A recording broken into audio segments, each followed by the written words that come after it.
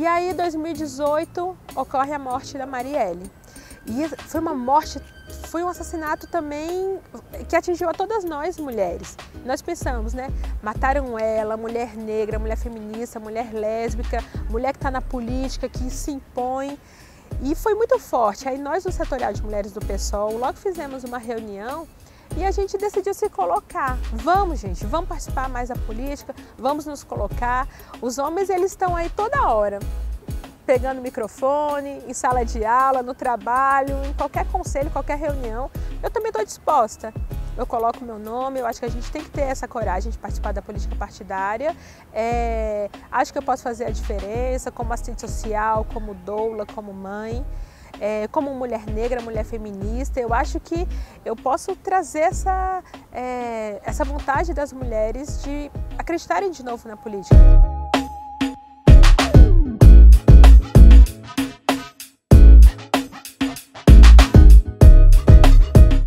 Meu nome é Ludmila Suaide, eu estou concorrendo a deputada distrital aqui no Distrito Federal e meu partido é o PSOL.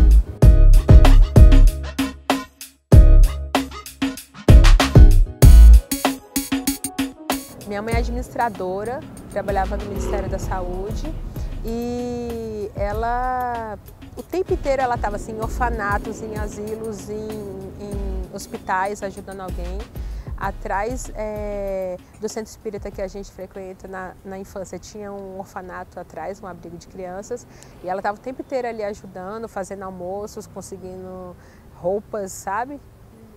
Aí ela é um exemplo de pessoa assim que está o tempo inteiro preocupada com o outro. Isso eu herdei dela, nós todos lá em casa. Muitas situações na minha infância, na minha adolescência, eu comecei a perceber como esse mundo era desigual, né? Eu caminhando, eu pré-adolescente, com 12 anos, eu caminhando lá na Asa para ir para a escola, para o inglês, para o espanhol, para qualquer atividade. Em vários momentos, homens me assediaram. Eu vendia cocada lá no prédio, é, cocada da minha avó.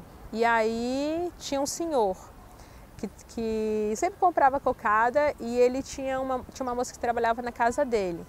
E aí uma vez eu estava embaixo do prédio conversando com ela e aí de repente o filho dele chegou embaixo do prédio correndo muito, chegou perto da gente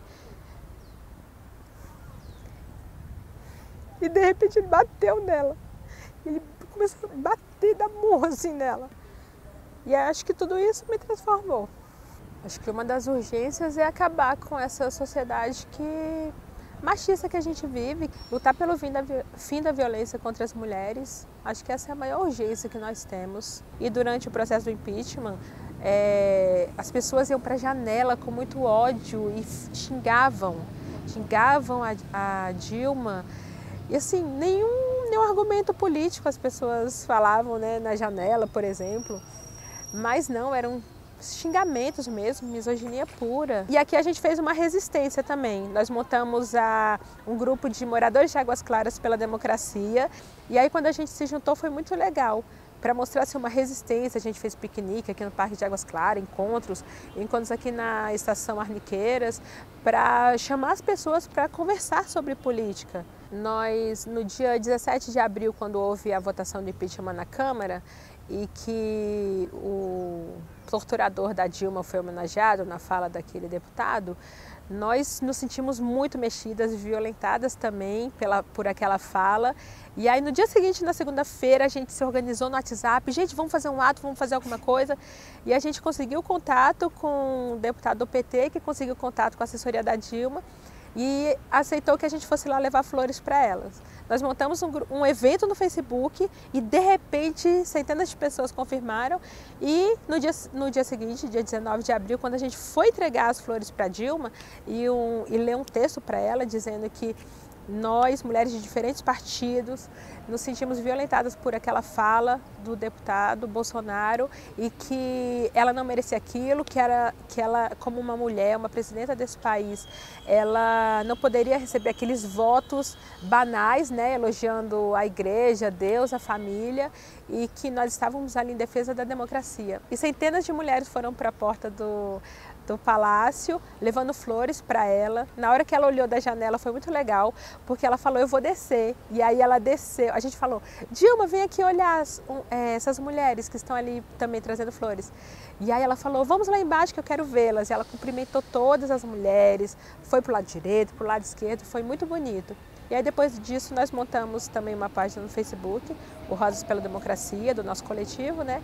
E assim, tem mais de 10 mil pessoas que curtem, a gente continua fazendo a defesa do feminismo, da participação da mulher na política, a defesa de que foi golpe sim, foi um golpe machista, é, jurídico, misógino, midiático, é, então a gente continua na luta, continua chamando as pessoas para conversar. E aí nós também nos colocamos também para participar da política partidária, né? Então pensamos, olha, eu, é, mais uma outra colega que é do PT, a gente está se colocando para participar dessas eleições porque a gente acredita que nós devemos continuar a luta, nós devemos continuar pautando nossas questões em defesa da democracia e da participação das mulheres na política como incluir mulheres mães nos locais de trabalho, no espaço público, né? Acaba que a gente precisa sim ter é, serviços preparados, creche com certeza, né? É, locais de trabalho acessíveis que ofereçam é, é, a possibilidade da mulher sair e amamentar seu filho e voltar.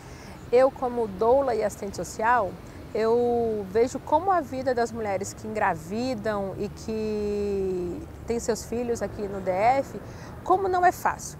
A primeira parte, nascer, nascer nas maternidades dos, dos hospitais regionais, muitas vezes não é fácil, as mulheres sofrem violência. E aí eu, e eu acredito, e os estudos mostram, que enfermeiras são muito capacitadas para atenderem os nascimentos. Então, existe a Rede Cegonha, existem recomendações para a criação das casas de parto ao lado dos hospitais especializados, né, como maternidade. Então, uma das minhas defesas vai ser a construção das casas de parto normal ao lado dos hospitais regionais. Eu acredito que, como assistente social, desde, desde 2003, atuando é, em diversas políticas públicas, né? na saúde, no judiciário, articulando com redes sociais, com movimentos, com grupos. Né? É, isso me traz muito conhecimento sobre a cidade, me traz muita experiência. Eu conheço muito sobre diferentes leis, né?